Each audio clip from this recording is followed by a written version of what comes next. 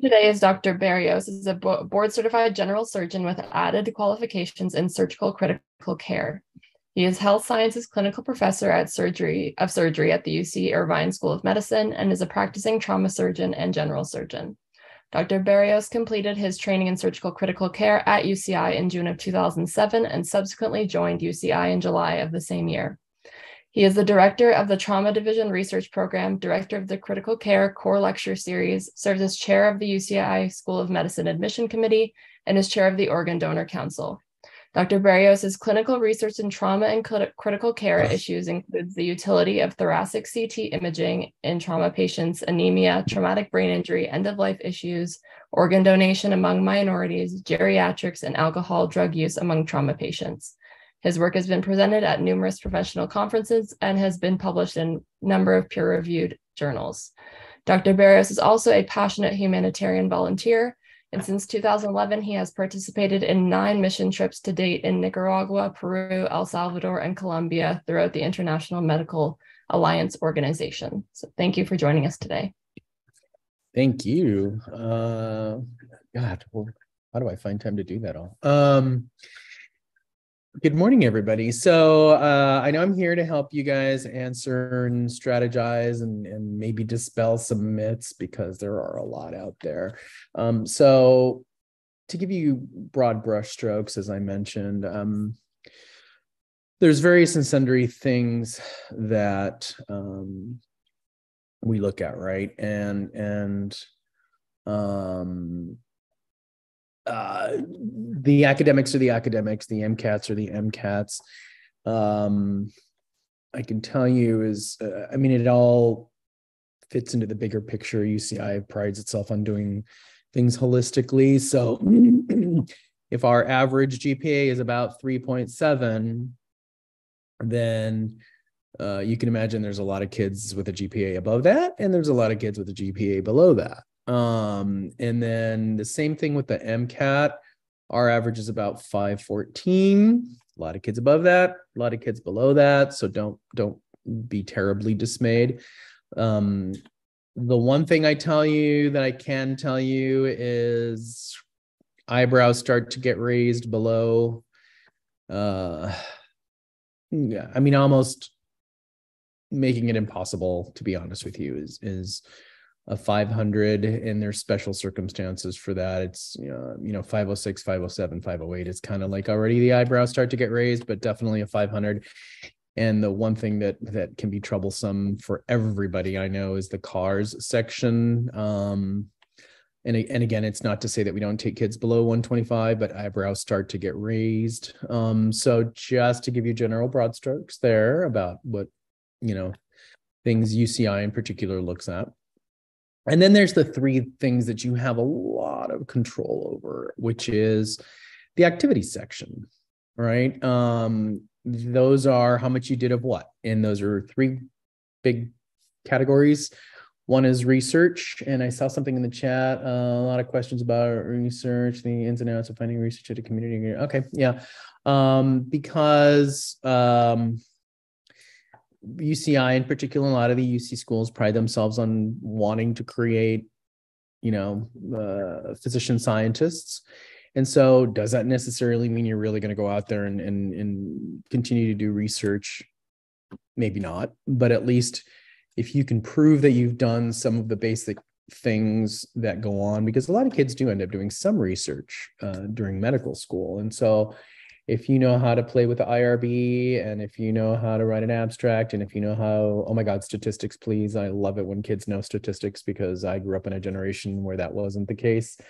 Um, and so I shamelessly have my students do the statistics for us. Everybody wins, right? Because yes, you do some of the work and I do some of the work, and then we all publish something and we all get our names on it, and it and it's and it works out nicely. But um, so the point being that that some demonstration that you do know how to do some good amount of research. Does it have to be basic science? No. Does it have to be clinical? No.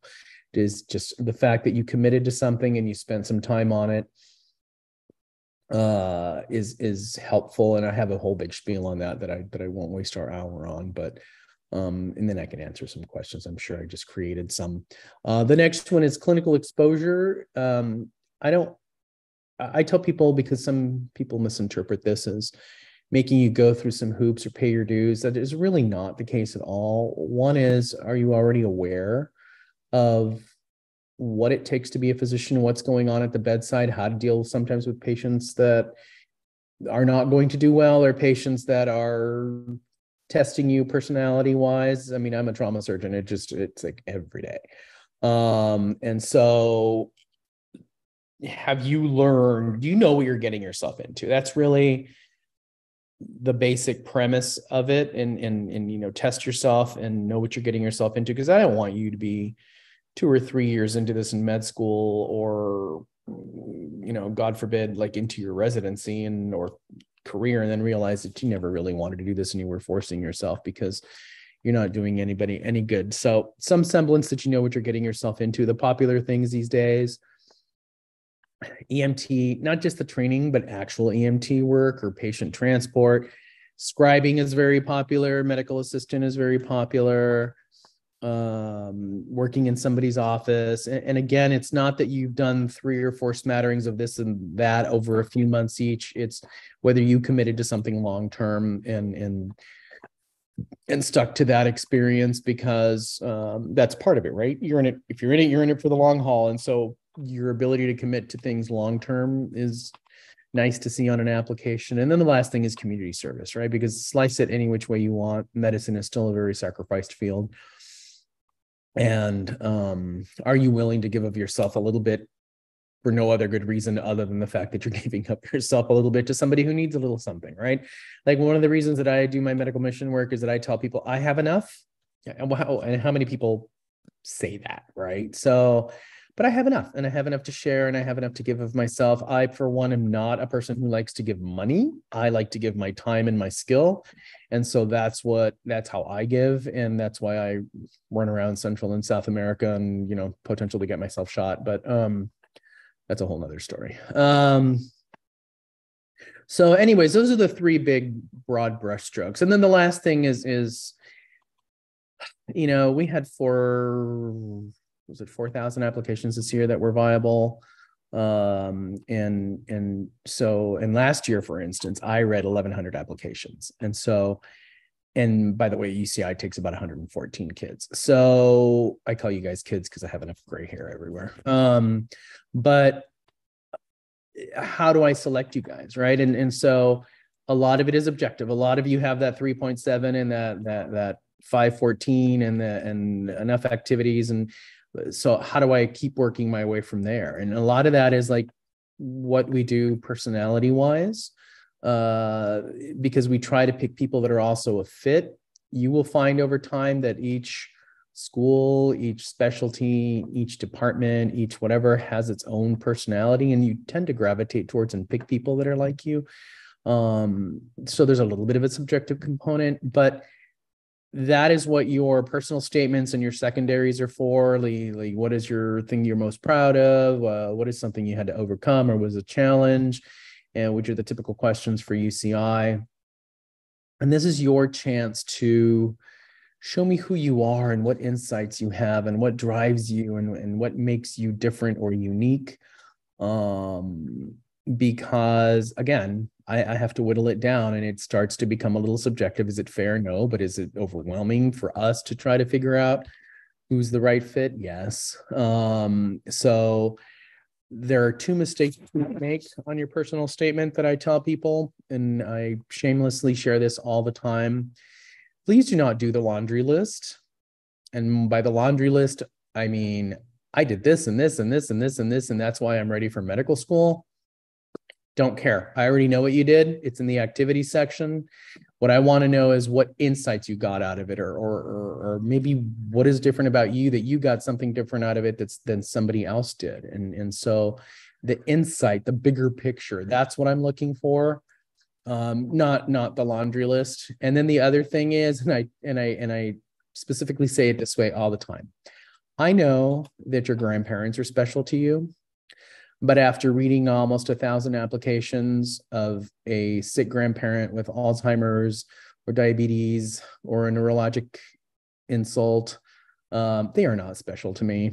Um, and, and so please, please, please avoid this for yourself. Do not start off saying that you got motivated into medicine because of a sick grandparent. You can put it on later on in the application, one little sentence somewhere, like an almost like an oh, by the way, this was also consistent with my grandparent, but um I can tell you it's an almost automatic turnoff um, because it, it, again, I'm looking for something unique.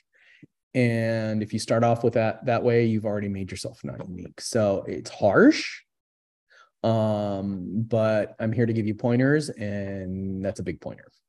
So um, that being said, um, uh,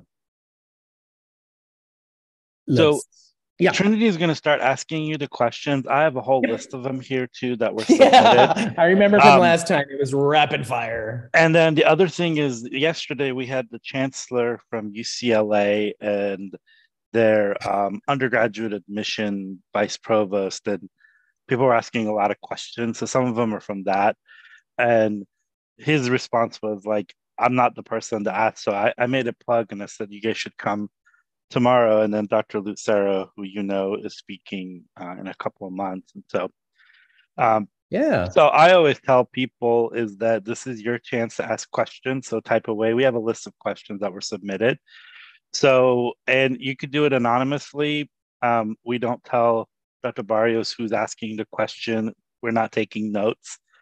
Um, so you know, feel free to ask any questions you want in the Q and A, and you could do it anonymously. So you know ask away and don't go you know don't hold back and then go ask your friends neighbors brothers uncles you know that you know that hurt something. So like you know it needs uh and i work with a lot of trauma surgeons and er docs and they're pretty straightforward. He doesn't have a you know he's giving you the information and he's giving you the time. So um, I think we're going to let uh, Trinity get started with some of the questions, and then what we do is we're going to group some of them that are in the Q and A because some of them do like repeat, and so we'll just ask it more co- coincident, uh, co- coinc- well, whatever.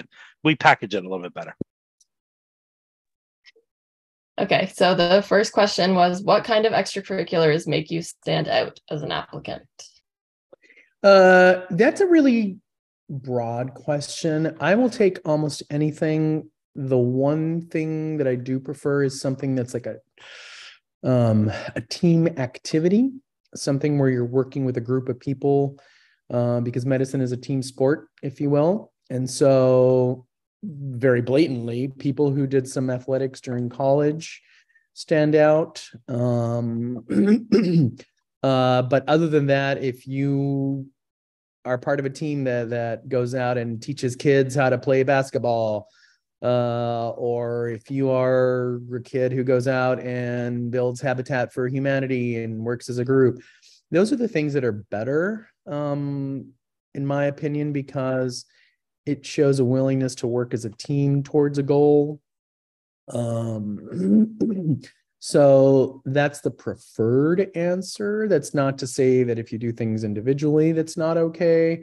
Uh, you know, things like uh, and the and then the other the, the other caveat is that it has to be consistent with who you are because again if you picked five or six different activities and you spent a summer doing each or a winter break doing each that's fine and dandy but it wasn't a commitment long term as i previously discussed um and it, and it should just and it, and it just becomes obvious that you're ticking off the boxes. So i prefer somebody who's doing something long term and something somebody who's doing something consistent uh with who they are. And and, and i'll give you one favorite example from years ago. Was a girl who did um i can't remember the name of the thing but it's essentially um uh, a camp for kids with autism uh, and they teach them how to ride horses and because it helps their motor skills and all that kind of uh, stuff um, and and and how to interact with another large existing being. Um, and um, but the reason she did that and the reason she put that in there is that she had a sibling with autism. And so she wanted to do something because her sibling inspired her. And so that was consistent with her story. Um, you know, there are kids who are athletic and then they say, well, I wanted to coach underprivileged youth how to play basketball, which again, just a generic example, but but but a true one. And and so that's kind of what we go for. And there's that saying, you know, see one, do one, teach one, right? Yeah. I mean, just is that consistent with who you are? And then and then you're like, yeah, again, if you're teaching kids or or something like that, that's you know, so awesome. Uh, another one is Do you recommend Calc 2 or calc based physics as a prerequisite? Oh, dear God. No, just check the. Uh, I mean, each school has what they have. The only advice I have for you there is check and see what the prerequisites are for most of the schools. Like, I was a geek in in undergrad and I had a biochemistry chemistry double major and I took calc 2 and like at the end of it I was like yeah that's about as far as my mind can wrap around this.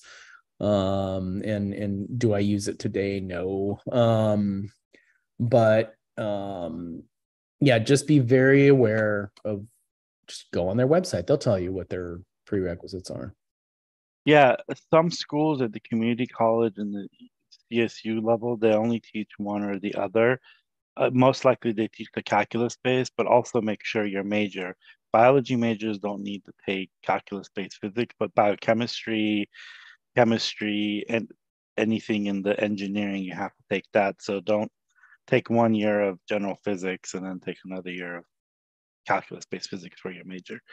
Um, and then make sure you just check out assist.org or whatever your major school tells you you need to take because that's basically limited to that. And some people don't have an option of taking non-calculus based physics. So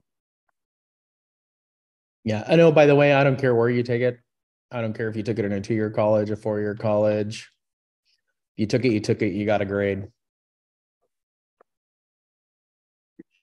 Another question is uh, Do judgment tests like Casper weigh heavily on admissions? Is it used against you if you get a low score? Uh, the only thing we're using right now that's new and we're not even really sure how to use it, and I don't have the answer for the other schools yet, is what we call it. It's, something along those lines as the preview score um, which a lot of people are being encouraged to take now, um, which is uh, essentially scenarios, and then you answer what you think is the appropriate response, and then that's weighed against what professionals think is the appropriate response. It is such a very, very, very complicated formula that we use overall that that is now becoming a tiny little bit of it, and so it's kind of like the personal statement, right? Uh, if if your application, like when I'm previewing these things, and I take a, a glance at your um, personal statements, it's like if your application's really, really, really good, um, or if your application's really, really, really bad, there's nothing in the personal statement that's really gonna sway my mind. Um, and and those statements become like that niche group that's on the bubble um, and and and so that's where those things start to weigh in if we're really struggling and we're really trying to determine and, and we need more pieces of information then then that might come into play but if your application is otherwise really really really good and you happen to have a low score on that it's, it's probably not even going to look at it so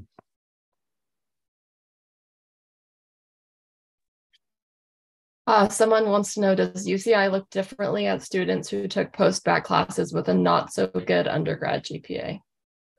Uh, we look at the final GPA. Uh, we look at trends in in um, uh, GPA over years, right? If you had like a really bad freshman year and then worked your way up from there, but the damage was done, and then you got close to a 4.0 on your post bac, that, that's fine.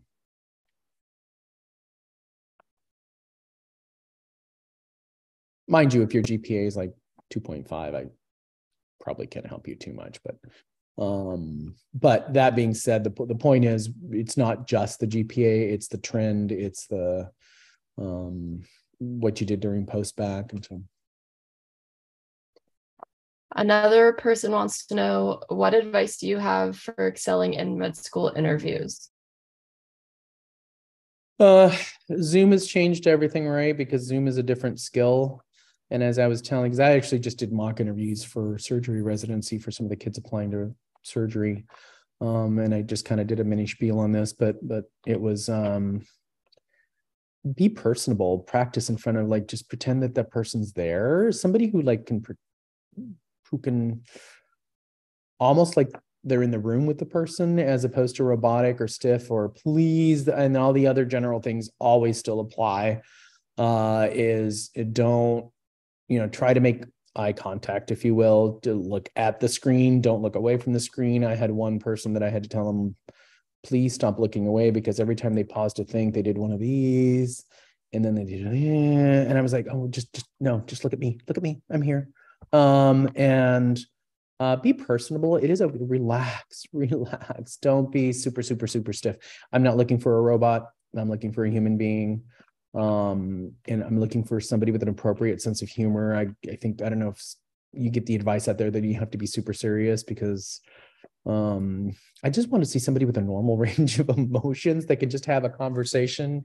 If you're awkward or shy or low volumed or looking around, that's the, those are, that's going to hurt you. And then, um, the other good thing about the other thing about the interview that I taught people is please, please, please um, do your homework on the place that you're applying to.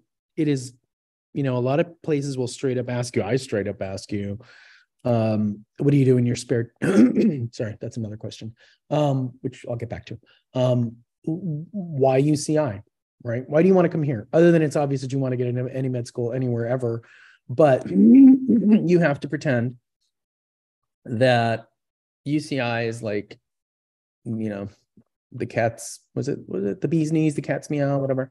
Um, that that you want to go specifically there because they have X, and and if you didn't go online and figure out what it is that that place is proud of, like UCI, for instance, you know, ultrasound simulation, uh, you know, global health uh, research. Like if you if you like uh, again i'm painting broad brush strokes but but if you're not aware that that's a thing that we're looking for then you didn't do your homework and it's obvious to me that that you don't have any particular interest. So have that one in your back pocket because somebody's going to ask you why school x or somebody's going to say do you have any questions for me? And if you don't have something that you can ask that's that's reasonable and shows that that yes you thought about this place in particular that's going to hurt you Oh, and then the last thing, the the other thing, going back to, um, um, you would be surprised how many people get um, caught up on the simple question, "What is it that you do in your spare time that's just for you?" And again, that goes to that: Who are you? Uh, why are you different? What makes you special or interesting? uh and and and i i can i, I don't want we have a lot of questions so i'm not going to take up but i have a really really good story about somebody who just completely flubbed that question, right? And it was because it was it had nothing to do with academics, it had nothing to do with science, it had nothing to do with medical school. It was essentially a question about tell me about you. And so um hurt themselves.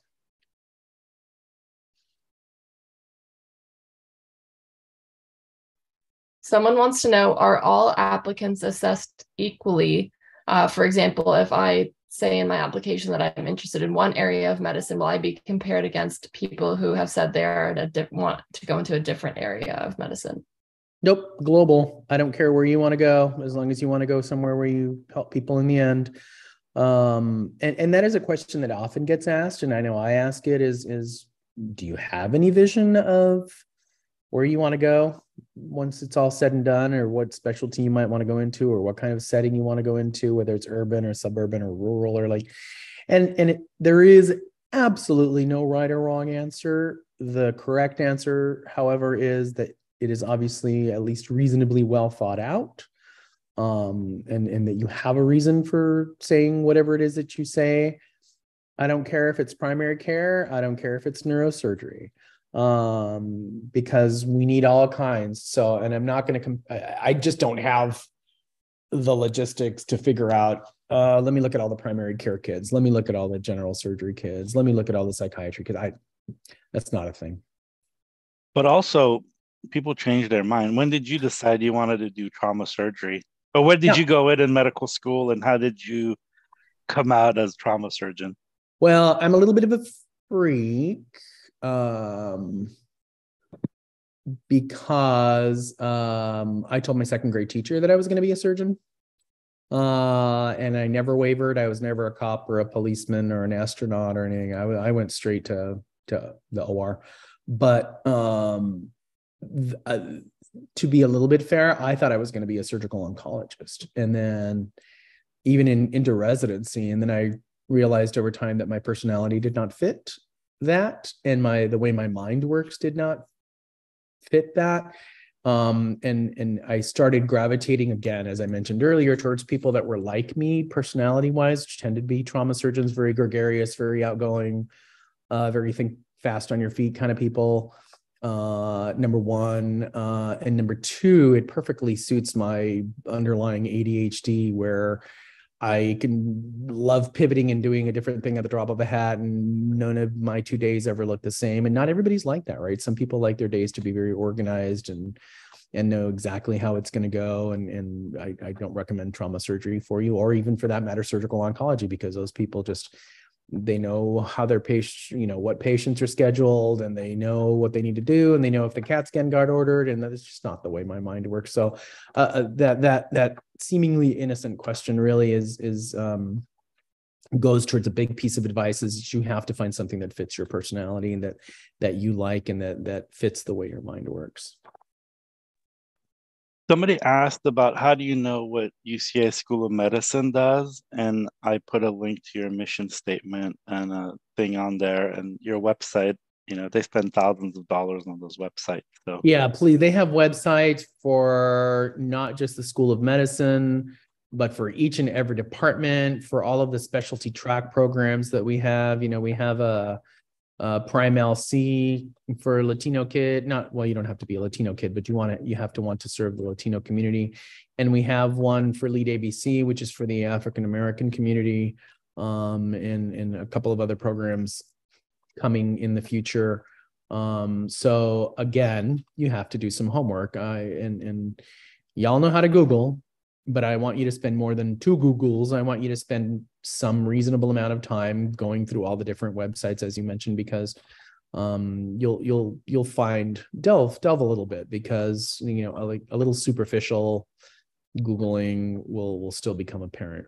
Trust me, the people that do this for a living, like myself and Dr. Osborne and and a few of the others that have been on the committee for for a long time, we can read the BS we can read the superficiality we can read the motivations it's you'd be surprised. Yeah the other thing though is that don't read blogs um, about finding out about the medical schools. Look on their websites because the blogs are not going to give you some secret or something. Yeah. all that information is there. Yeah well and the blogs are anecdotal right? And what worked for one person happened to work for one person. It might be just that, you know, not, I don't want to say that you can get lucky, but that, that there might have been something that they say, well, I did this and that's how I got in. Well, I may have not even had anything to do with factoring in. So, so I agree with that completely. Um, the other question I was going to ask is, and this is what I ask everyone, I think I asked you before.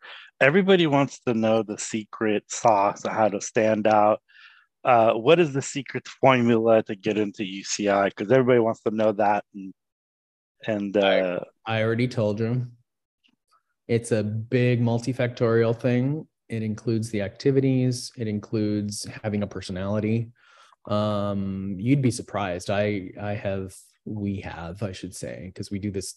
It's not just one person deciding. Um, there's a lot of people that decide along the decision making tree, and so um, to get to the to, to get to the final acceptance. And so um, it's not arbitrarily based on one person such as myself. There are a lot of people involved. I screen some kids in and then they end up being you know like i said an interpersonal skills problem and get rejected at the end because they had all the great stuff and looked great on paper but interpersonal skills wise needed needed a little work um and and so i have the luxury of not having to take my chance on those people and, and moving on to the next thing so once you've done all the stuff that goes on paper the next thing is are you a person that that is for other people and can prove that you're for other people and that you're not just in it for yourself uh, or because your parents are telling you to. And so have some interpersonal skills is the final step. You cannot underestimate that enough, right? Because I can I can get you to the application,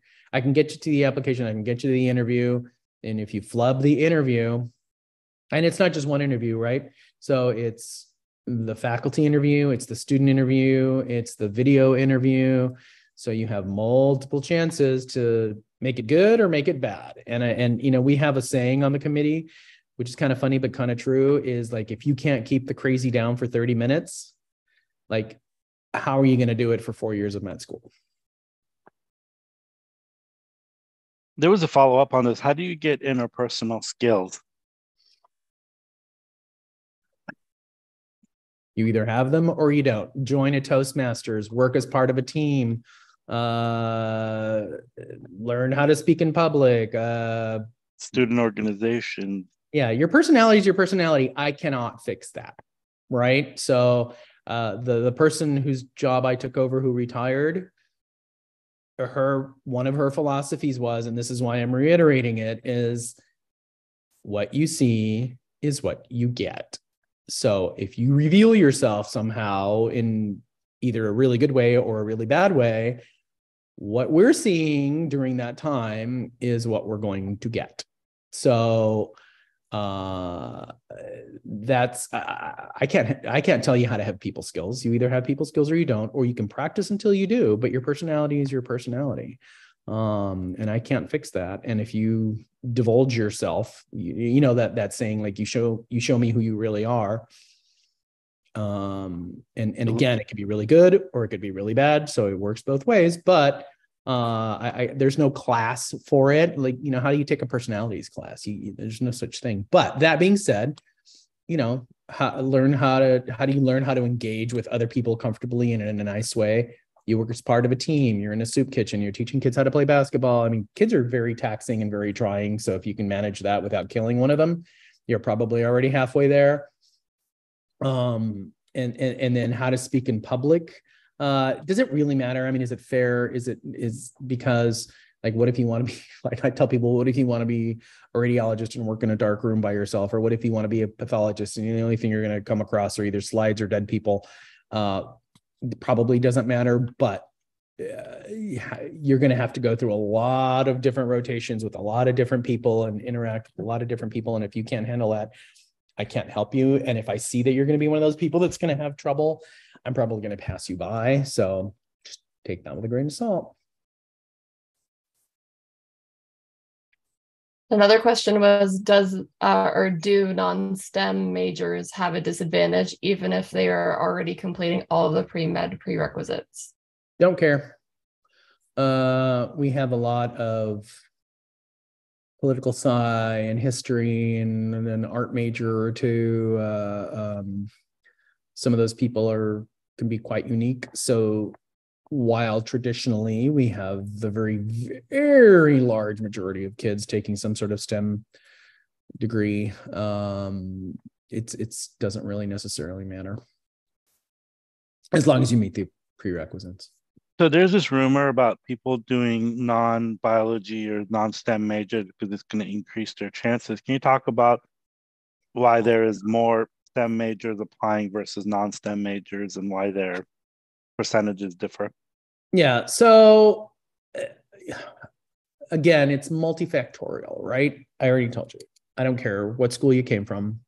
I mean, as as long as it's some reasonably accredited school, right? So, um, and I don't care really whether it's biology or biochemistry or chemistry or physics or, or art major, philosophy or history or uh, you know, as long as you've met your prerequisites. Now, do we recommend it? Yes, because it's really, really, really going to help you during your first and your second year because it's all basic science, right? It's all you know physiology and chemistry and and know, all that microbiology and all that kind of stuff so if you're comfortable with the topics you're comfortable with the topics so that's why most people tend to to get some sort of stem degree um but uh again if you did well during your prerequisites because you took philosophy and then uh, find yourself having to take a bio and a chem and a physics and a whatever separately, then that's perfectly fine. Don't don't sweat that.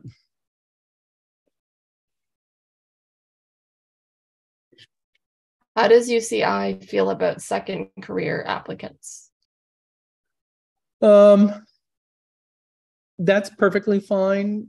Um, in fact, two years ago, we took a person who had been in the military and was actually a JAG, you know, like a lawyer in the military, um, and were a little bit on the older side because they'd had a reasonable career and um, but their passion for why they pivoted um, is different. It, what was actually stood out and fascinated, and you know they were underrepresented uh, and thought that that was the best that they could do. That med school out of was their reach, and they had put that dream down, but then realized over time that that that was still missing. I mean, it's just a good story. So, and and their motivation for wanting to do it was good, and um, so that was compelling for us. Uh, now, so in other words, again, it's just part of the puzzle. It's neither here nor there. Now, if your reasoning for doing it is kind of like weird and like, oh, I'm just bored and I decided I didn't want to be a financier anymore on Wall Street and decided to do something different, it's kind of like, eh, is your motivation really where it needs to be? So, again, it's not the fact that you did a second career that's going to help you or not. It's what was your motivation and did you have a good story for wanting to change and pivot? Another question is Are the application questions the same every year or do they change? Our questions have been the same for a long time. Um, uh, different schools have different questions. I'm sure some schools rotate them. I think we tried, UCI tries to be consistent and not have in mind what people were doing last year or this year. So we we try to stick to the same questions.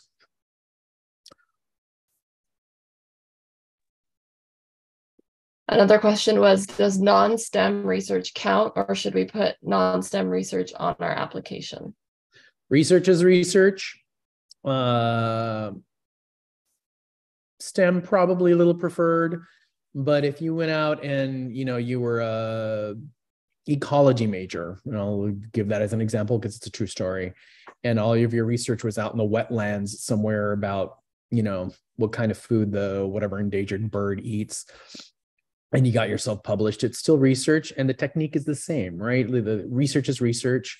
And and and again like whether it was stem or not um did you know how to gather data? Did you know how to pose a question? Did you know how to analyze the data? Did you know how to write an abstract? Did you know how to write a manuscript those are all skills that translate no matter i don't care if it's underwater basket weaving right? Like is left-handed better than right-handed? I uh, the, the point is that that you know how to formulate a question and, and try to get to the answer. And so um preferred maybe a little bit yes but the fact that you did it don't not put it on there because it's not stem. I mean it's still research.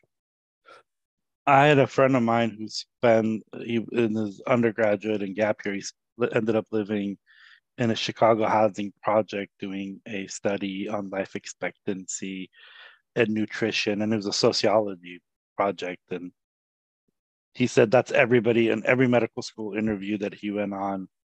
That's the only thing they kept on asking him about what he did. Yeah. So, so because when I ask you the question, uh, like, oh, I see you did this research on X, I don't ask you, what you learned or or what was the outcome or what was like that's not the point for me. The point for me is is what did you learn from that? Why was that a meaningful experience for you? So and again you'd be surprised because like eh, well two things right? I do expect you to know the answer if i ask you that way. And some people will because some people there's are, are sticklers on it or, or you may have the luck of having done research on something that i'm interested in so i'm going to ask you about it. Number two um the other thing is again what i go back to of like the personality thing like what did you get out of it? What was your personal take on what you did and why that was significant or not? Um and, and i'll be honest with you. For instance i'll tell people during the interview too like don't and uh, going back to the basic stem stuff. I did some basic science research as an attending when i first started at uci hated it. I will never do basic science research again um, that's me. That's not you. That's me. I am very, very much driven now by outcomes and by clinical stuff. uh that's more my niche and so i tell people even if all that did was show you that you weren't interested in basic science anymore and that you want to move on to something else or that you actually did do this first and then did something else that you put on, on your application and that's more your niche that's actually kind of okay too like you don't really want to say like i just did to you because it's you know like oh my god i hated it but but um you know i learned some skills. Uh i appreciate how sometimes you have to do stuff that that gets the basic science proven before you can move on. But i know now no longer have the time or the energy to do that and, and i've moved on to the next phase which is the clinical stuff or the outcome stuff. It's a nicer way of saying it but um you still kind of threw in there the like yeah i got my basic science skills done and but now i moved on. Uh so so there's ways of saying it right? There's ways of like the original that i just said i hated it. And then there's the well i learned from it but i've moved on.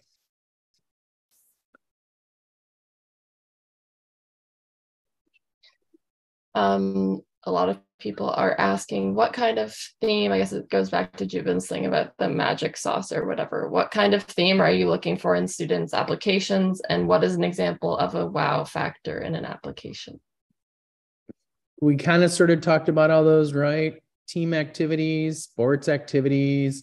Uh, you know, somebody who went off and did something like we, you know, had kids who get off, went off and did AmeriCorps, uh, or kids that like uh, we had one kid that like picked up whatever the heck they were doing and moved to Greece when they were having like that big influx from the Middle East and and worked at a camp for like six months. Um, I mean, there's so many different things that are wow factors. Um that it's just hard to say that one thing but again i'm looking for a unique individual. So anything that you do that makes you stand out i don't care what it is. You know i had a kid who was a mountain ranger. I, we had a kid who you know i don't know. There's there's i just can't begin that you know we we had an olympic athlete. We like so i mean these are sometimes a little bit exaggerated but that's why it's a wow wow factor. Um but i i can't give you a specific answer. I mean, yeah, sure, go, you know, become an Olympic, whatever, in the next four years, and then get back to me. But I'm, you know, being facetious, but um, so they enjoyed what they were doing, right? As long as they enjoyed what they were doing and they were able to tell me why it was meaningful for them, right? Because you'd be surprised. We can pick it up. Like I said, there's the kid like I did this and this and this and this, and it might be kind of sort of interesting but you could tell they did it because either their parents forced them to do it or they just really couldn't give a good example of why they even got motivated to do that in the first place um, and i'm like eh, okay you're checking off boxes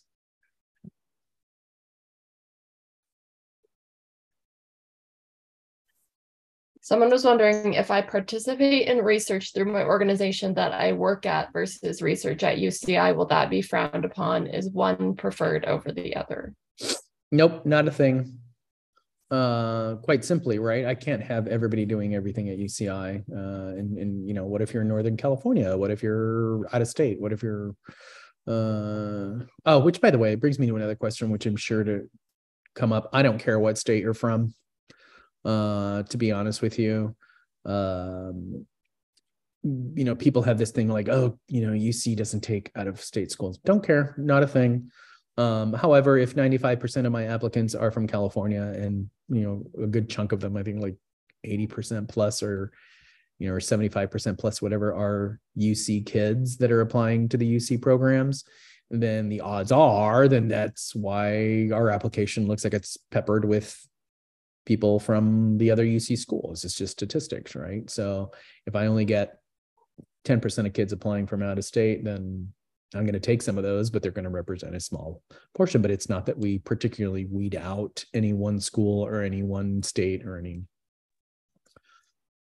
Yeah, and then the, the where you do research is as long as it's somewhere that is, you know, has an IRB, believes in the scientific method, because doing a research for, you know, people that I've done my research on something, it's very different than actually doing it, having people review it, approve it, yeah. All yeah, of those way, process, yeah. And by the way, full disclosure, in my other other other other spare time, I'm actually one of the chairs for the IRB at UCI. Um, so I've seen a little bit of what is it that was it the what's the name of that commercial? I know a thing or two because I've seen a thing or two. Um, so like that's why I say like if you can prove that you've had interactions with and know how to get through the IRB, that that's a marketing uh notch on your belt.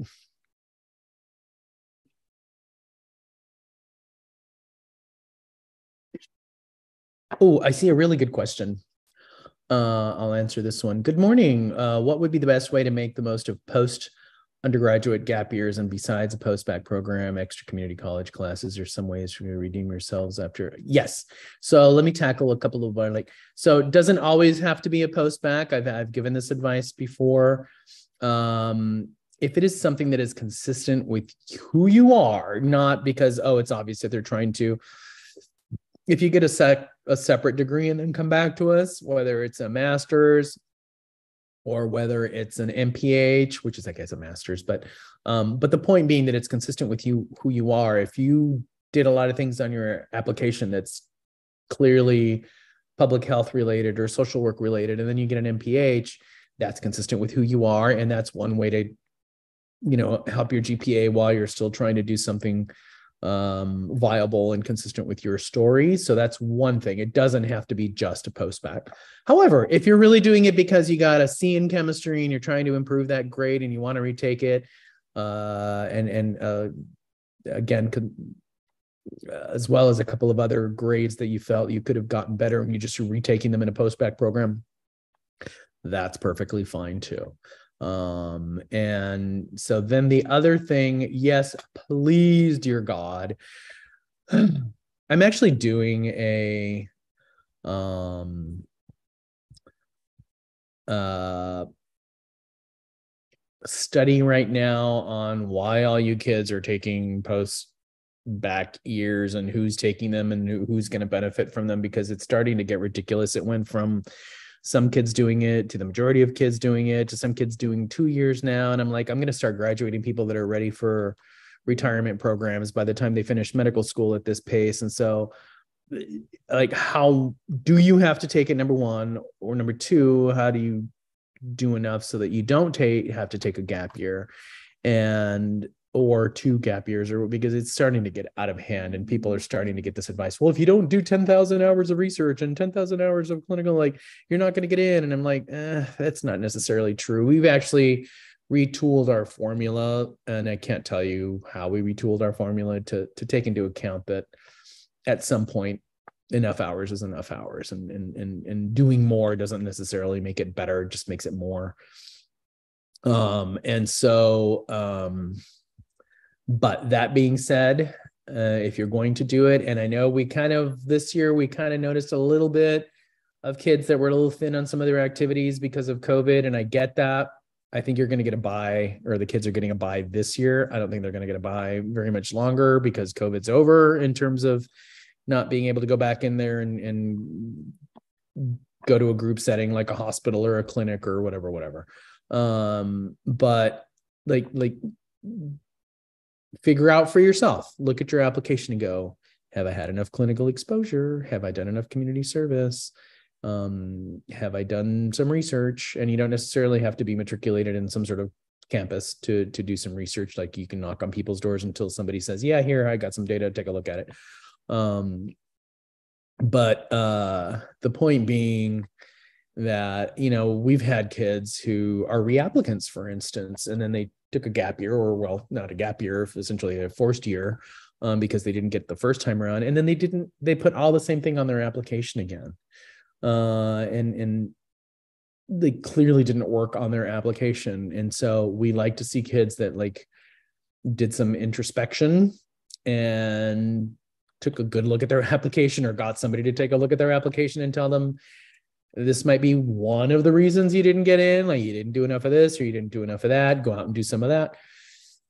And and went out and did that. And i like that for two reasons. One perseverance if that's really what you want. And then you went out and you stuck to it and and you improved your application. And number two you have introspection um that you can reflect on you know what your strengths and your weaknesses are uh and fix it so that's what you want to do with your gap year and and and uh you know it's funny because i hear these kids well like the first thing i did was go back pack through Europe to find myself for six months. And I'm like, next, you know, I, I can't help you find you. Uh, that's not what medical school is for. I, I, I don't, I can't do half baked. I need somebody who's baked um, because it's a lot of work.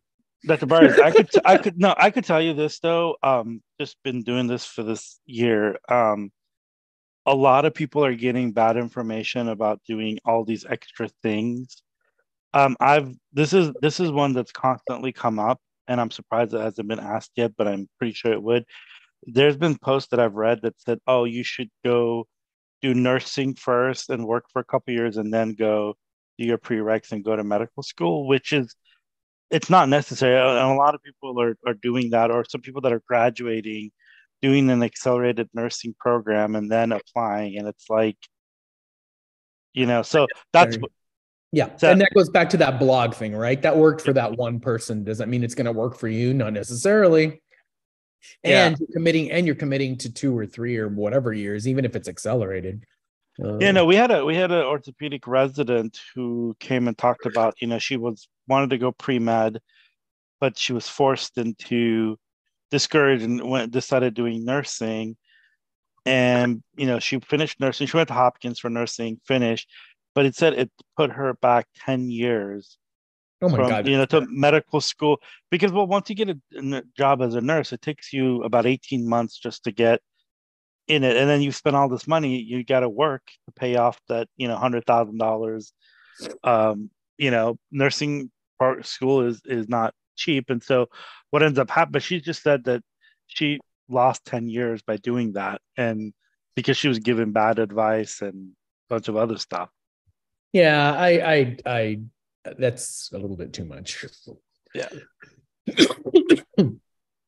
um, yeah, and so that's the one of the one of the big things that's happening. But a lot of these blogs, uh, you know, are coming up saying, "Oh, you should um, do all these extra stuff." I mean, I I we we're doing industry, uh, leadership applications, and I interviewed someone, and they had all. I'm like, why aren't you applying? And she's like, I'm gonna take a three year gap here, and I'm like, because because I need to do all this extra stuff, and I'm like, no, I think I think you'd be a strong applicant.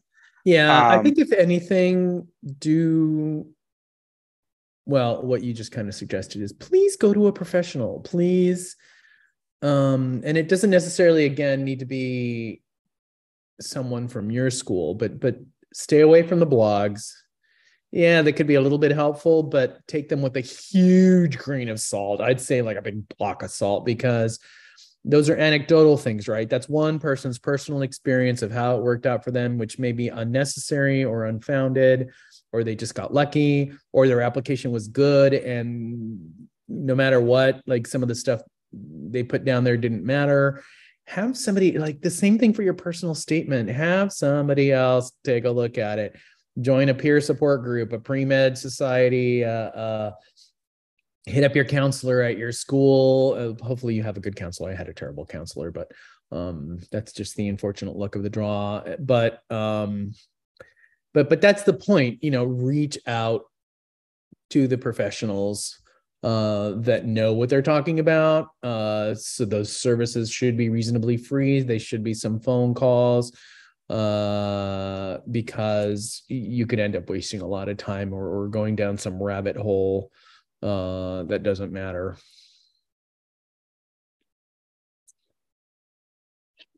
Uh, we have a couple questions about letters of recommendation. Ah, um, yes. How many letters of recommendation does UCI ask for? To ask for those letters? Uh, three minimum, usually about five maximum. If you hit six, eh, they, it starts to become like, well, aren't they a little overachiever? Um, so I would recommend four or five. Uh, but who are you getting those letters from is also a mistake that people make. Please do not get them all from your professors in a class because you're going to get what I call the, uh, I have a whole lecture on this, by the way. You're going to get what I call the um, Boy Scout letter.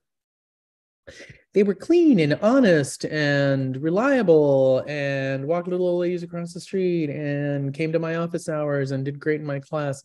Fine, dandy. Um, uh, but what I'm also looking for are letters if you went out and you were an MA or you were a scribe or you did do some research with somebody or you did build a habitat for humanity or you did work at a food kitchen get letters from these people right? Because it proves that you did what you say you did. And number two these are things that are from that require interpersonal skills and these people can say and and put in their letter like oh my god they were like awesome. They were fun to work with. Um as well as reliable and blah blah blah. And when you are going to ask for a letter do two things.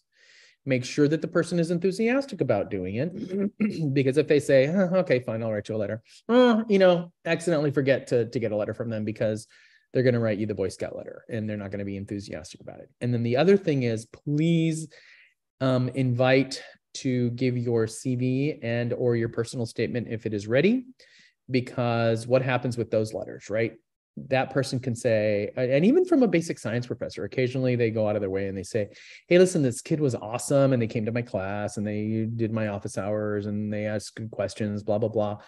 But then they still pepper it with, and I know that above and beyond that, they worked with autism kids and with horses and that they worked in somebody's busy underrepresented office. Uh, and, and so that this person obviously knows who you are and knows who you are as, as a, as a well-rounded individual. Um and so uh those are the the pointers for getting letters of recommendation. I see something about dual programs. Um fine dandy. Uh the mph the mba i know plenty of kids that go through it. Um if it's consistent with who you are and who you want to be i personally recommend md mba medicine has been wrested away from the doctors by bean counters. And if we can put ourselves back at the table by having MD MBAs, I highly encourage it. But as long as it's consistent with who you are and why you want to do it. um, I don't know much about the prerequisites other than I, I do know that the person who does the MD MBA is an awesome guy and is happy to answer questions for you. I'm sure if you go to the website, his name will be there. It's, it's um, Kyle Paredes. Um, threw him under the wheels of the bus. I don't know who runs the MD MPH program. The MD uh, dual degree for like MD MPH is super super rigorous. So um, those requirements are completely different, and you can go and take a look at those. But again, I just if you're doing it, do it for the right reasons and have a good answer for why you specifically want to do it. We have someone in two weeks or three weeks who did an MD MBA at UCI and he's an anesthesiology attending at UCLA right now. So on the 19th. Yeah, there you go. Check it out. Get, Another question that will come up. Sorry. Sorry, go ahead. Um, do you you said that you didn't necessarily care about where people come from when, when applying, but do you care if people intend to stay in California after graduating? I don't want you to. Uh, we got plenty of kids trying to stay at our own institutions, and and uh, we actually encourage diversity. I don't want inbreeding, so I don't care if you're going to go back to the East Coast when you're done. Just not a thing.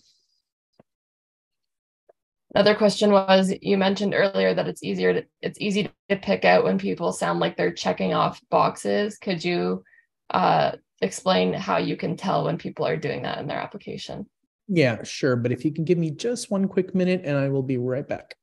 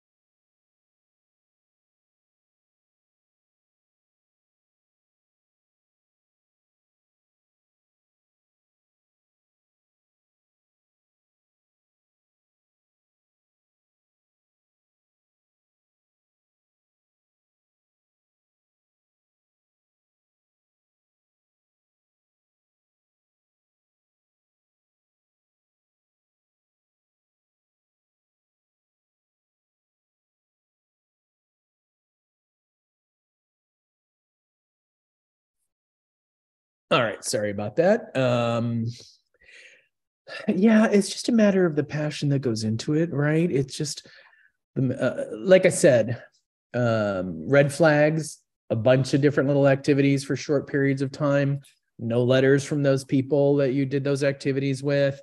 You know, you say the the same generic things of like, oh, I just, oh, oh, so so here we go. Good example. Um, you essentially start off with the in order for me to gain more experience about how the homeless have to deal with whatever i decided to work at a homeless shelter okay you're checking off the boxes come, come on um you know as opposed to uh, you know, I walk past these people every day, and I my heart was moved, and I decided it. You know, it's it's um and and it's and it's really funny because they almost don't even stray from the formula right? They list four different activities and each one starts with and then in order for me to become more like whatever i decided to do this. And i'm like eh, okay yeah yeah whatever. Um so so trust me it, it's it's obvious. The question was What research opportunities does UCI Medical School have for its medical students?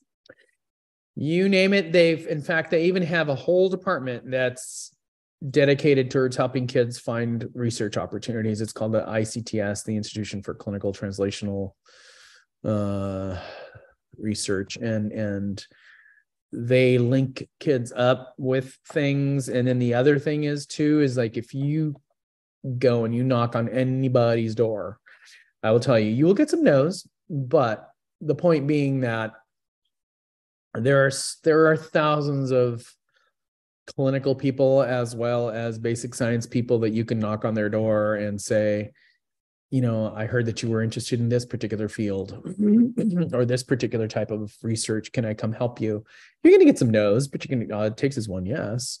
Um and and like i said there are specific services out there to help connect the kids up with with who they think and actually provide sometimes the you know a couple hundred bucks of research uh, opportunities or statistics opportunities. And so the infrastructure is there to help you. Uh, another question was it's a research certain... university so there's they want you to do research yeah exactly. I, I had a friend who went to uci and was doing a research and the person was down in san diego and they let him do the research with that person so yeah, because data is data, right? And you'd be surprised how many people have just data sitting proverbially on their desktop, uh, waiting for somebody to be able to pick it up and do stats on it or or finish cleaning it up. And and and like that's how I do a lot of the research with my kids, right? And because I don't have the time to do the basic stuff. Uh, and and and they need to learn how to do the basic stuff so everybody wins this is a really quick one. People want to know if you don't know what specialty you want to go to before you apply, is that disadvantage and when you have to decide what you want to do? Not a thing. uh, absolutely, you don't have to know what you're doing. And some kids answer that. You know, some kids like, well, I think this, but I don't know, or or I really haven't thought that far ahead yet. I just know that I want to help people and and um you know and, and like you said like half the kids are going to change their mind anyways.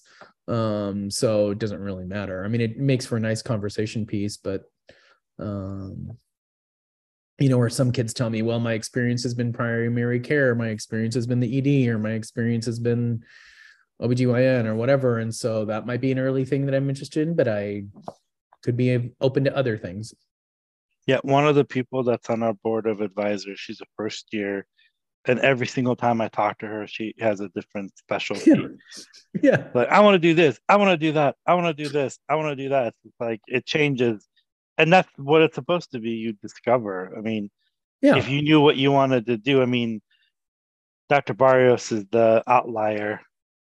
Um, that wanted, he's the outlier, but most people um change it, and even you changed too. You wanted to be a surgeon, and yeah and you're doing i mean though it's, it's a very different type of surgery so yeah than trauma. no i mean I, I, we had a kid a couple years ago that and, and i'm sorry she we lost her to USC, but she was gung ho. All her research, everything was about OBGYN. And then she took the um, general surgery rotation and she was like, oh, no, I'm going to be a general surgeon. And she completely pivoted in the middle of her third year. But you know what? She's perfectly fine. The fact, again, the fact that her research hadn't really not surgical, but was OBGYN didn't matter. I mean, she could put a good spin on it. And, and, uh, and again, she was able to reiterate that, like, well, the skills are translatable. So yes, I know it was OBGYN, but but I saw the light and and she's at USC now. So I mean, not shabby. Uh, another question about research was Does it hurt to not have publications along with your research experience? Eh, not really. It gets you an extra point might not necessarily mean anything. Uh, whether you have some good amount of research or not is and, and, a letter from that person is is will get you most of the points there. So yeah, could you get yourself an extra point if you actually got the publication? Yeah, but is it a is it a killer? No. A lot of research don't get published. They, yeah, especially the basic science stuff. It takes years and years and years to get published. So it's not. That's why we don't necessarily expect you to get a publication, especially if most of the work you've been doing is basic science.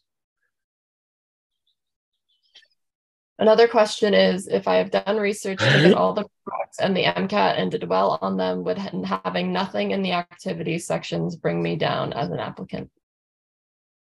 I can tell you that right now. That's what we that's go back to the first five minutes of the presentation. Like and again, it's not that I'm making you go through hoops because I love making you go through hoops. It's because I want to know that you know how to give of yourself, that you know what you're getting yourself into, that you know how basic science works and, and how important is research is in that. So, yeah, a couple questions have come up about how UCI handles students with physical disabilities and or learning disabilities, and if that's a disadvantage, and at what point uh, will they still be accepted? Yeah.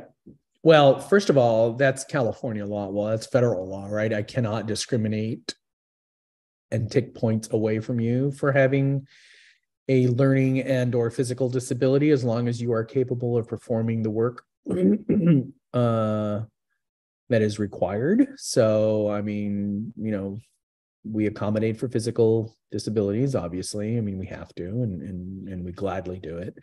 Uh, and the learning disabilities like dyslexia is not a terribly uncommon thing. Um, I mean, for God's ADHD. Sake, yeah, well, yeah.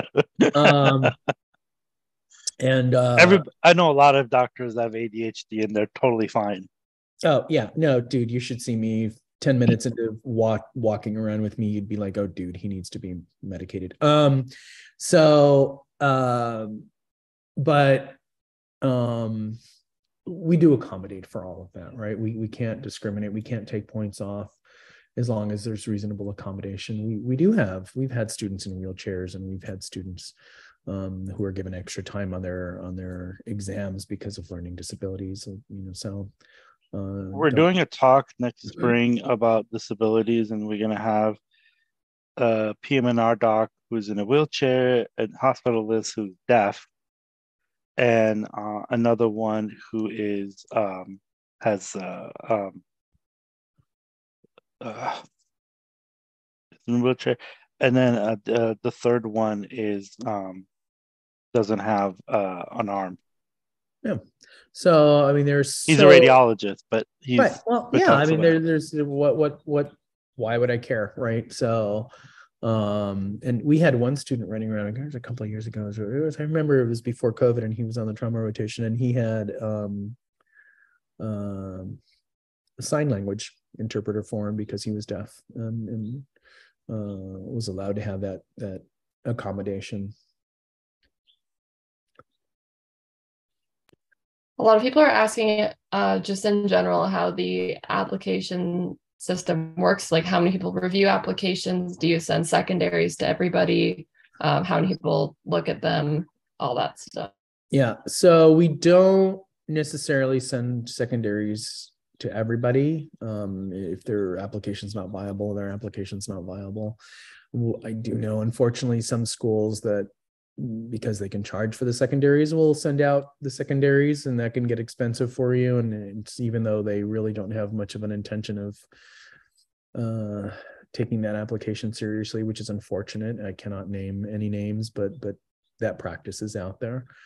Um and then we do have our committee is about i want to say 10 people. Um and and actually part of that this year stems from the fact that last year out of the 4000 applications that were viable i read 1000 or 1100 of them personally. So i was responsible for 25% of the decision making process and, and getting screened. And and in order to make that not a num- number one i almost needed a therapist after that. And number two um we don't want to make it in such a way that that one specific personality is is making all of those decisions. So we opened it up to more people and i'm really probably going to get into about three or four hundred this year. And then the rest of it is going to be divvied up. Um and and so yes unfortunately um there is a step at which people like me decide that you're going to get interviewed or not. Um and uh, I, when it comes to that step, I do have the final say. It's why I was hired.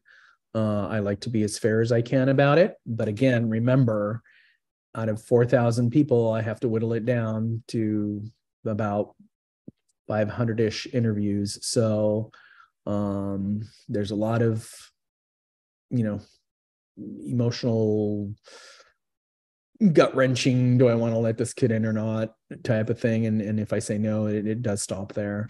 Um if i say yes then there's the interview phase and then there is a committee phase of, of that is clinical and non-clinical faculty as well as some students um, to help us. So it becomes a multi-person thing. So that's why i try to you know I, I reinforce that for the large majority of if you're getting through the process, it is more than one person deciding. It's not just one person deciding. So, Dr. Barrios, we're gonna we're gonna ask this again because I think you said it like three times, but we just want to beat it again one more time. Yeah. Um, somebody asked, "What activities would you recommend that would attract your eye and give you twinkle in your eyes?" Yeah, long term commitment, something consistent with who you are, something that involves a lot of interaction with other people. And again, whether that's a sport or teaching kids how to play sports or teaching kids how to do whatever, uh, working as part of a group, those are the things that I highly reinforce because activities that you do by yourself. Let me tell you a no. Now I'm just going to go into the fun portion it. I'm just going to stream of consciousness for you. I had a kid that got through the interview process and and and I asked the fateful question, "What do you do in your spare time?" That um, is just for you. And they said, "Oh, this sounds funny." Oh, by the way, if you start off a sentence with "This might sound funny," don't say it. Just don't. Um, so they said, This might sound funny, but I love to tutor. Okay, no, I know you love to tutor because you put it on your application already.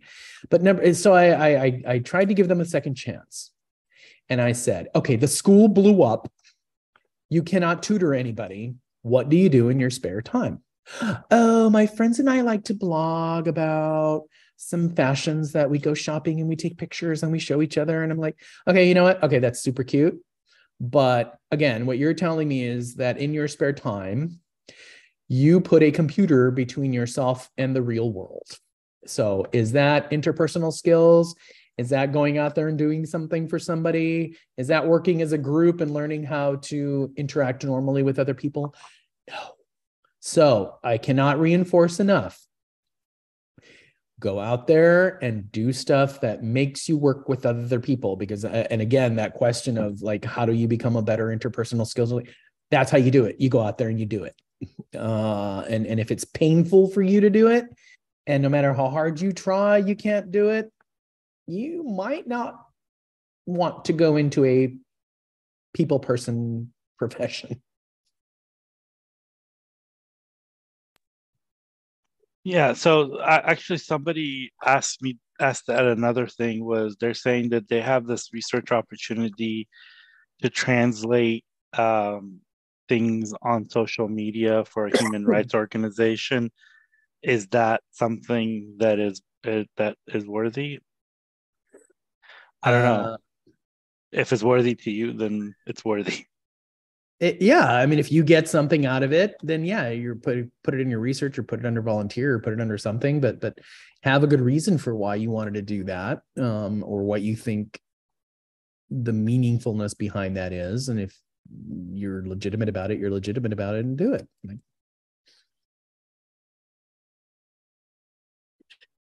a quick follow up to the um, like admissions process. Uh, someone was asking if you send letters of like progress throughout the application. No, the only time you're going to either hear and they and they get batched. So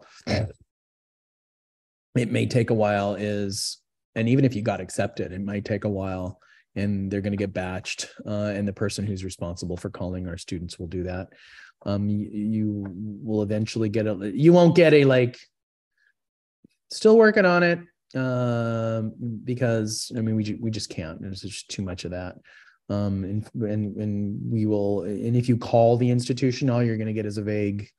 Yeah, you're still in the pile, so it doesn't behoove you to call. And actually, by the way, mistakes to be made.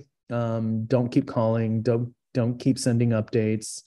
I tell people you kind of like get one shot at it because I know there's like the letter of intent and all that kind of stuff don't do that more than once because now you actually have red flagged yourself as high maintenance uh and and and I'm and, and it's going to be counterproductive. I can guarantee you it's going to be counterproductive. Um, and and I'll tell you something which was a great horrible mistake on my part, and and early on in the process, like like when I started doing this like seven or eight years ago, um, and and a, a, kid who started doing that just sent an update and sent a oh by the way i'm still interested and oh by the way i've been doing this now. And after the second or third one of those letters and i just kept trying to say thank you for the update you know?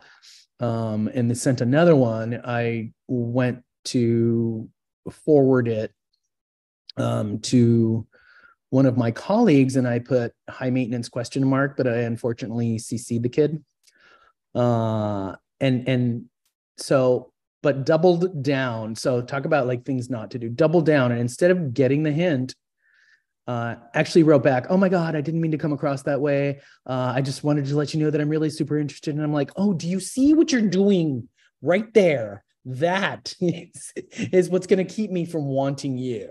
Um so uh, yeah and, and, and, and, and the only thing is i would add this is that like uh, this is just something that add like you're a surgeon you what work 40 to 50 hours operating on a good week. uh, on a good week and the rest of it all the stuff that you're doing yes is part of your job everything else but you know they have very tight schedule and your staff is you don't have a big staff and so doing these things creates more work for people and it's counterproductive to you. And this is every single person has said this is like don't you know you do you're speaking through your application.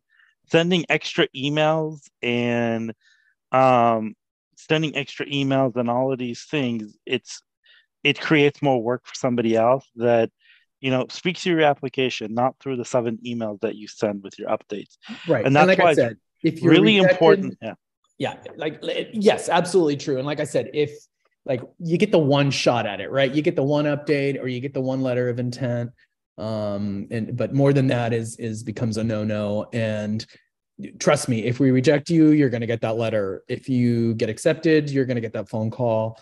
Um, if you're on some sort of wait list whether it's being screened in for interview or from the interview to the we accept you process if no news is good news uh, uh, so so and it's a rolling process right? Like some of our kids didn't find out they were getting in until like april of you know of, of this last year for july or august.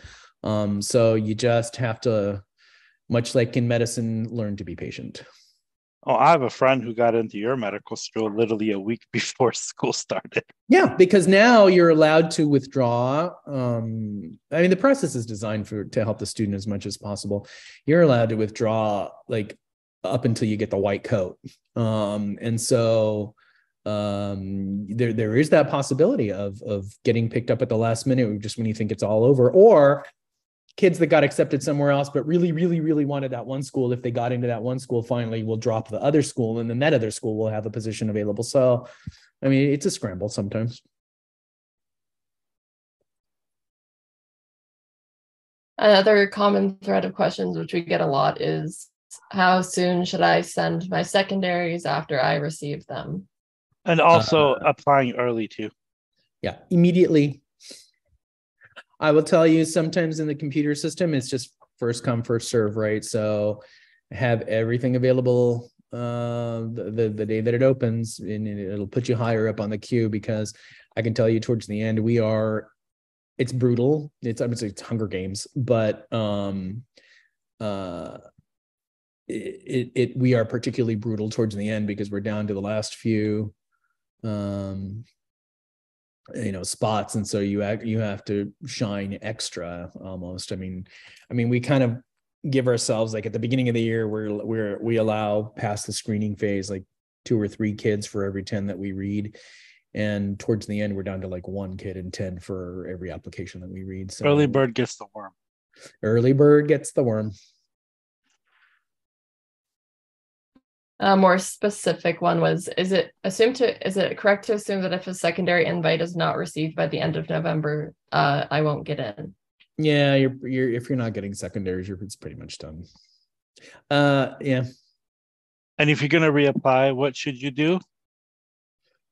Uh spend your gap your forced gap year uh at you know in a clinical setting uh building a habitat for humanity i know i keep saying that because it's just a common thing but um uh don't resubmit the same application. Oh yes dear god please don't just take the same application and resubmit it because that's just an automatic like well they didn't get the hint right? There was no introspection there was no uh working on on the perceived weaknesses in the application. And that's again the important part of like going to somebody with some reasonable amount of knowledge some counselor and say where do you think the weakness in my application is and and and if you apply and you don't get in yes you can try to call the institution and you're going to get a vague answer much like the one i'm giving you now because i can't say like i didn't let you in specifically because of this because what if you fix that and you still don't get in and he said well you told me if i did this that I was going to get in. Well, that's not what I said at all.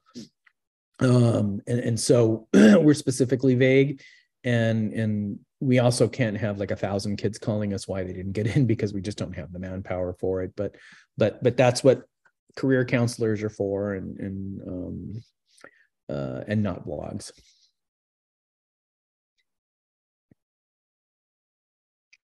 Um, someone asked if my MCAT is not until June, should I still send my application with a pending score?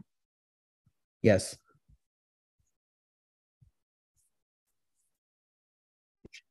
This is uh, the link that I'm putting in.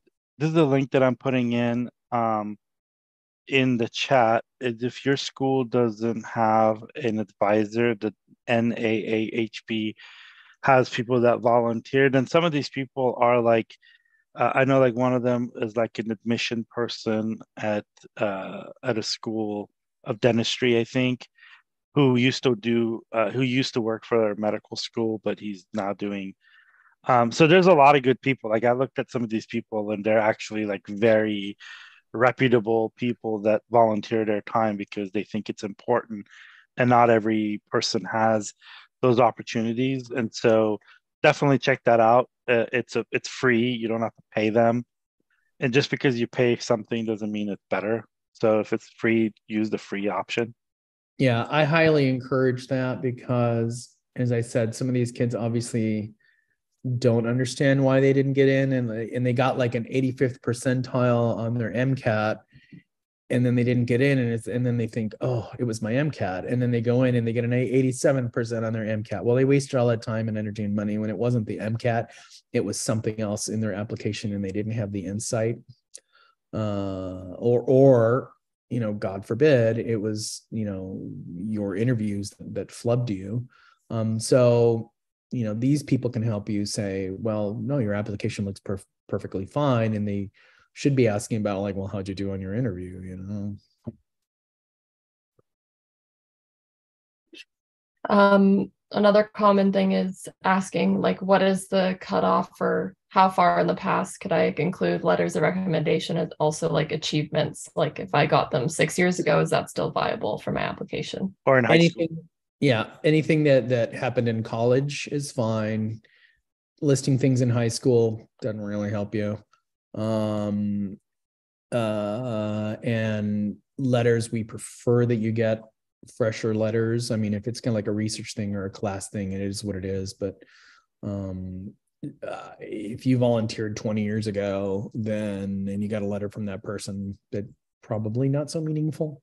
Um, so so yes, do try to keep fresh, but I do understand that if you took your bachelor's degree five years ago and you wanted to include something in there because you already got that letter, that's perfectly fine. But remember, you got five or six if you're pushing it and I don't necessarily want all of them from your academics. I want some of them of like what what have you you know what have you done for me lately?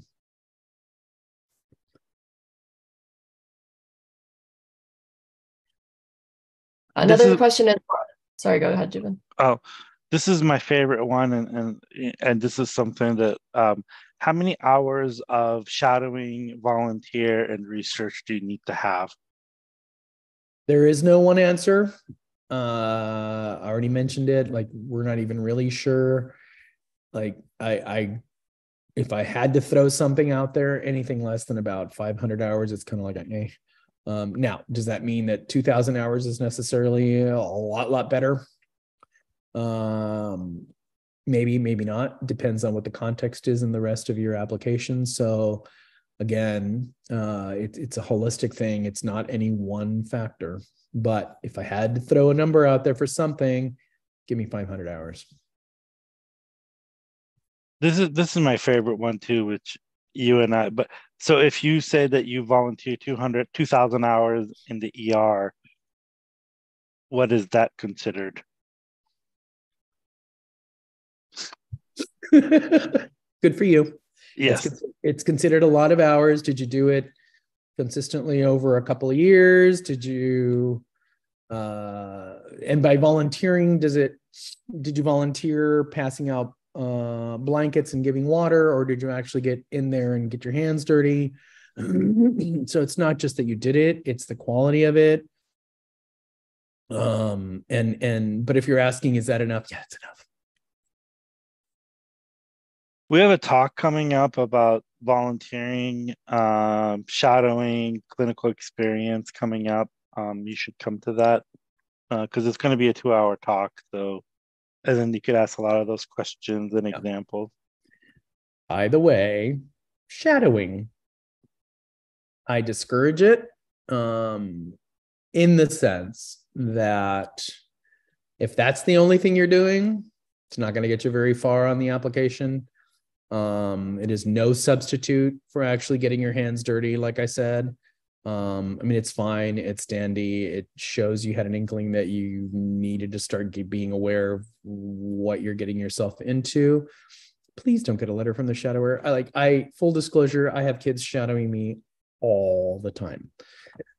I'm very user friendly and my poor assistant pulls her hair out trying to coordinate the schedules and the paperwork that's required. And I don't mind doing it and I and I and I'm an extrovert so I don't mind talking to this extra person um and chit chatting with them and and giving pearls along the way as as well as letting them see what I do but but it's kind of like the B side of the menu, right? It's kind of like that extra vegetable that you have to order that nobody really wants, but you got to order it anyways. I mean, that's how we see the the shadowing. So don't rely on that to get you like, oh, I did a thousand hours of shadowing, like which nobody's going to do, but but you know, it's usually on the order of 50, 60, 100 hours, whatever. Um and uh but uh, that, that's not going to get very far is what i'm saying don't don't rely on that for your clinical exposure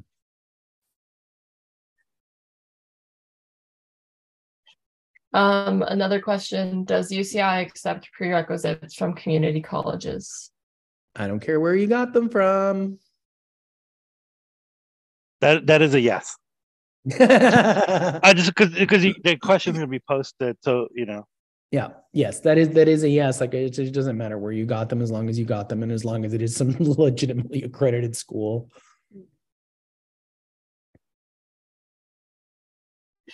Uh, another one was was the 500 hours you mentioned total or per activity.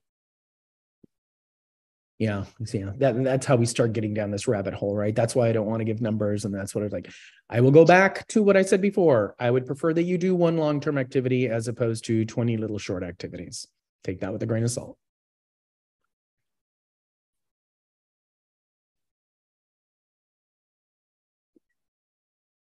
Um, um, does UCI uh, or other medical schools filter applications by MCAT, GPA, or both, or other things as well? Computer-based formula based on your GPA and your MCAT.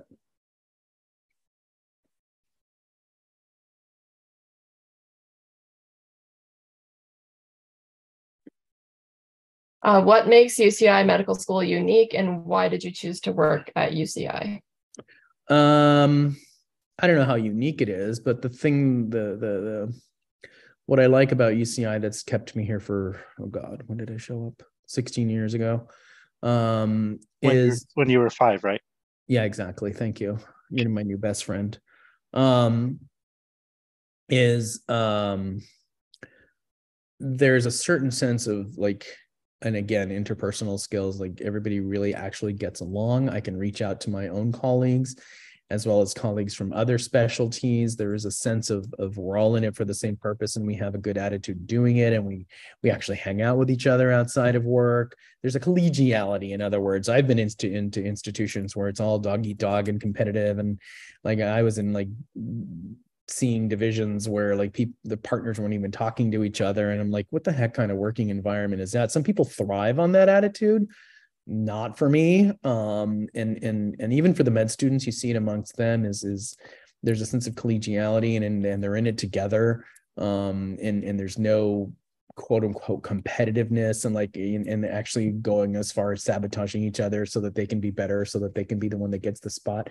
There is enough space at the table for everybody. It is not i, I tell people you know people in, in our current environment just like it's a zero sum game right? There's only one chair for one person and and that's not the case. You just make the table bigger um and you put more chairs on it. And so there's room uh as long as you're qualified obviously you're perceived to be qualified. So um I, I can reach out i can call people i can pick their brains i can i can hang out with them uh and and that's one of the things i really really really like working at at UCI. I mean, I came from a place where the attendings wouldn't talk to the interns, let alone anybody else. I mean, they would only talk to the chief. And I'm like, yeah, you know, you're not that important, dude. I'm sorry. Hmm. At the end of the day, as much as I'd like to feel how important I am, I am totally uh, dispensable.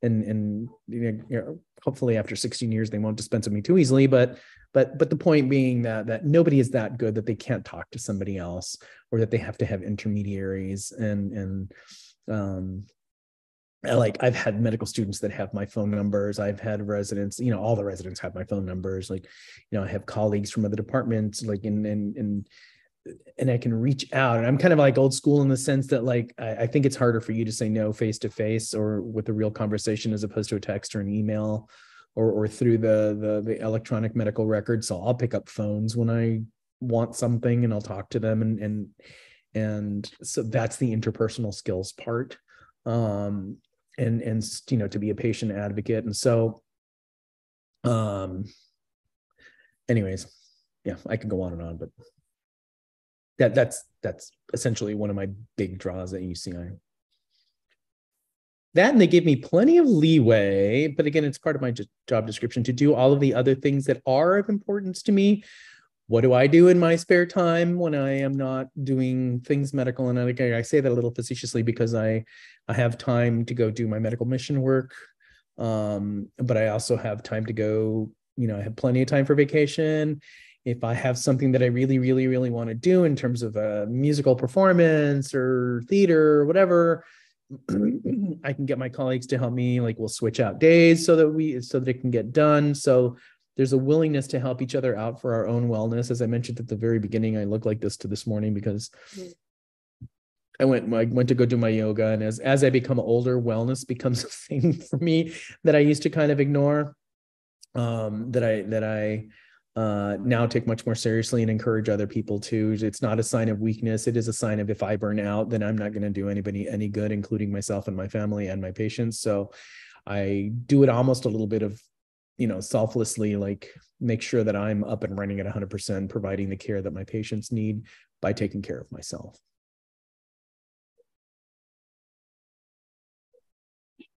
Uh, another question is if there was one piece of advice you could give to first generation uh, non-traditional students, what would it be? Keep plugging away and and ask for advice. Call people, write people, email people, harass people, annoy people. I don't care. Um, keep plugging away because um, I got terrible advice early on in my careers and I struggled a little bit because of it. Made me the person I am today, and and how would it have been different if if I had not gone through that? Probably a little bit smoother. Might it necessarily have been better? I recommend. Oh, so one of my things is I just I love movies. I can relate everything to a movie.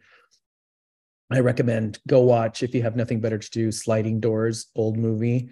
Um, and the whole point of the sliding doors is that the the, the principal character when goes to go on a subway, and in one reality gets past the sliding doors and gets on the subway. On the other reality, the sliding doors close and doesn't get on. And then the two lives diverge on the movie screen, and both lives, one way or the other, are depicted. And the whole lesson to that movie is is things are not what it seems. And I know our society these days are obsessed with FOMO.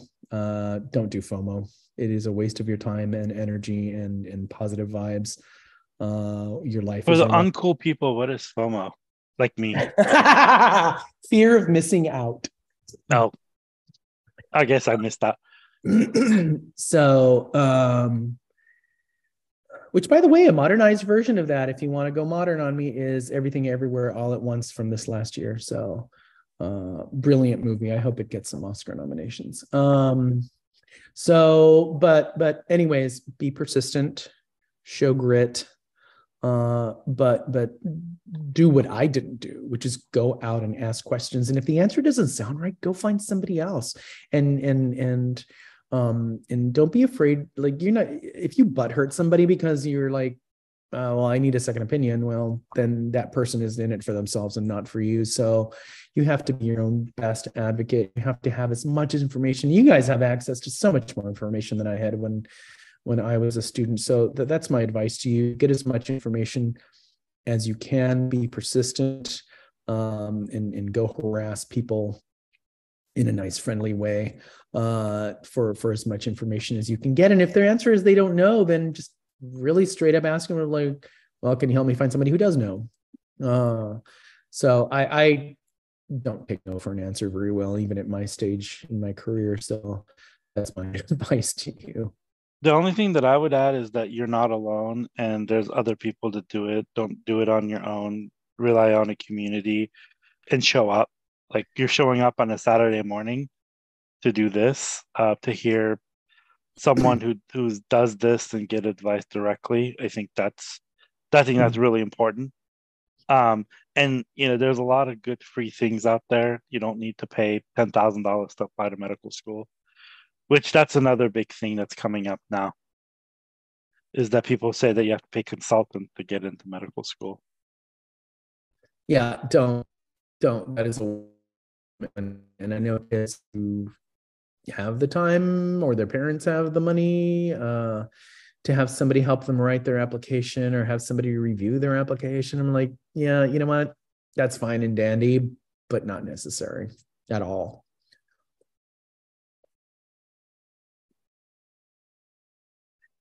Someone wanted to know um, would it would you recommend quantifying the impact of our research in our personal statements? Quantifying, no. Qualifying, yes. Why was it meaningful for you? What did you learn from it? What What do you think is the impact of it? Um, that that's really more what I'm looking for. Again, not so much that you did it, as as what do you think was the meaningfulness of it? either to you or to the world in general? Um, someone wants to know if it looks bad or if um, volunteering related to dentistry is good for an application. Don't care. Did you volunteer? Did you spend a lot of time doing it? Did you have to interact with a lot of people? The other thing is working as a dental assistant, you can make really good money. It's like 24 Seriously. bucks an hour in California.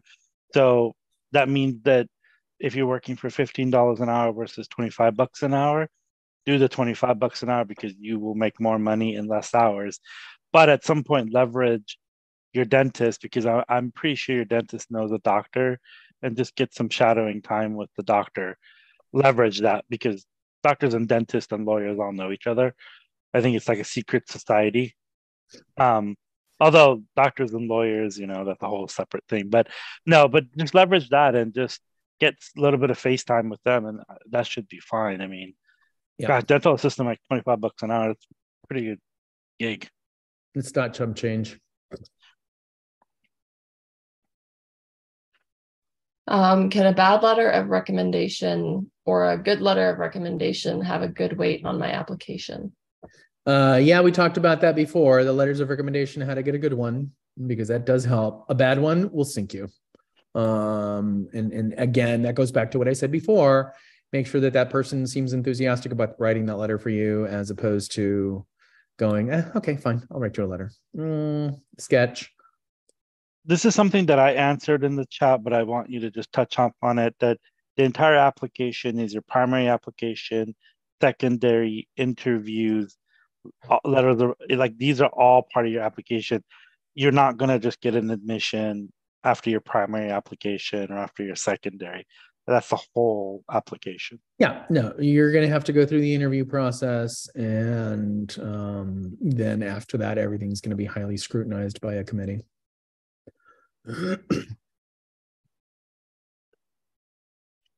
Um, do school ties play a factor in admissions? Do. Like if I went to this undergraduate institution, does it improve? Don't know how many times I have to tell you, I don't care where you came from as long as it is a accredited. accredited. Yeah. it's not your mom and papa. Somebody asked this question was how how does it impact your you know pre-transfer so if you go into community college for two three years research all that different stuff how does it impact it? Not at all. So the only thing is i would say that if you're at a community college for three years and if you're just going to school and that's it like that's gonna what did you do like you're giving up three good years.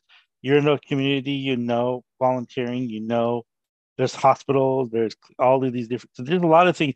The only thing you can't do at a community college is research but we've also done like three or four things about summer programs and research clinical and these pay like some of these research programs pay you seven grand 10 weeks that's like 20 bucks an hour so instead of like, you know, you know, working at Starbucks, which, you know, it's a good place to work, go do research and get paid 20 bucks an hour and get your housing and everything else. And we've done five or six sessions on those. There's also the HCC.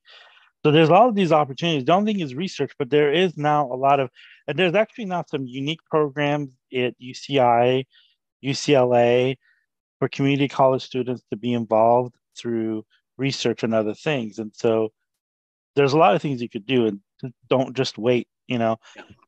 Well, but that that that's two separate issues, right? Like again, the first part of the question, stop beating yourself over the head with like, oh, I came from this community college or not. Like if you met all of the requirements for your GPA and it was accredited, I don't care at all where you came from. But then the separate thing is, as you mentioned, it's like, did you do all the activities to go along with it, right? Because the only problem, like as you mentioned, some of the community colleges they don't have the infrastructure for you to go out and, and you know help you go out and do volunteer things or medical things but that's on you right because i don't care if you went to harvard or i don't care if you went to pomona valley um, if you didn't put in the extra time to go volunteer somewhere or uh, build a habitat for humanity or you know then that's on you. I don't care if you went to Harvard and got a 4.0 and a 527 on your MCAT and then didn't do any activities. You're not getting in.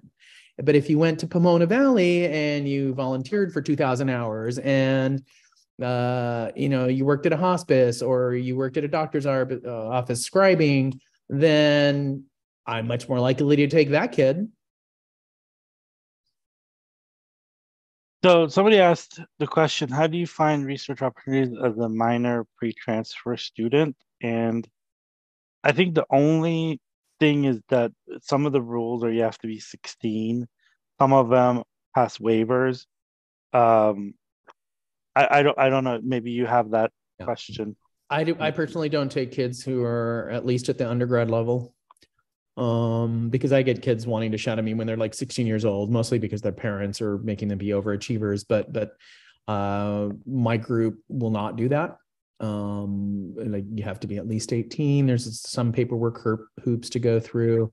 Um, and sometimes you just have to go find somebody, right? You have to knock on a, some doors. You go Google, like, oh, I'm, I'm interested in pediatric neurology. And you start Googling pediatric neurology, Orange County, for instance, if you're here in Orange County, and then you're going to find somebody, you may find somebody at CHOC And then you just hit those people up and say, hey, can I come shadow you? But also, I'm kind of sort of interested because I saw that you did research on X, and I I'm kind of interested in that. And and is there something for you you're going to get some no's i mean i got a lot of no's when i was where i was at and and uh you know where you're at i should say and and but all it takes is the one person to say yes and sometimes if they even if they say no the follow-up question should still be do you know anybody who does and if they help you by giving you an answer then they then they served their purpose even though they told you no so um that's part of it, right? That's part of it. Did you do the footwork or did you lay down and, and give up when somebody said no, or did you keep at it until you found the yes?